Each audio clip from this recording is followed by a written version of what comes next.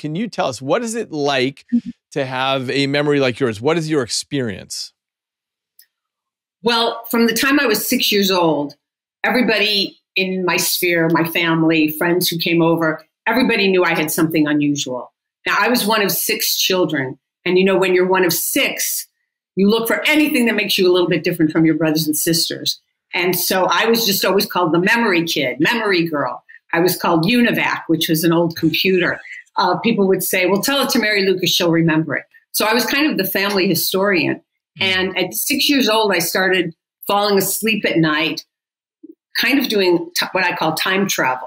You know, I would think, what did I do when I was exactly, you know, a week ago, two weeks ago, when I was this day in kindergarten, when I was my little brother's age. And it was something that I became very good at doing. Now, there is no doubt in my mind that I was born with something unusual.